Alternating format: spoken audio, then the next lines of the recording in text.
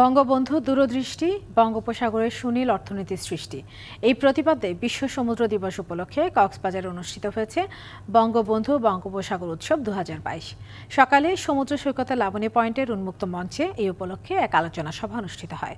উৎসবের উদ্বোধন করেন প্রধানমন্ত্রীর কার্যালয়ের অবসরপ্রাপ্ত সিনিয়র সচিব ও বাংলাদেশ বিমান এয়ারলাইন্স পরিচালনা পরিষদের চেয়ারম্যান সাজ্জাদুল হাসান। তিনি বলেন, বাংলাদেশকে সুনীল অর্থনীতির জন্য সমুদ্রকে রক্ষা করতে হবে। এই সময় কক্সবাজার সমুদ্র সৈকতে আগত পর্যটকদের যত্রতত্র ময়লা আবর্জনা না ফেলার আহ্বান জানান তিনি।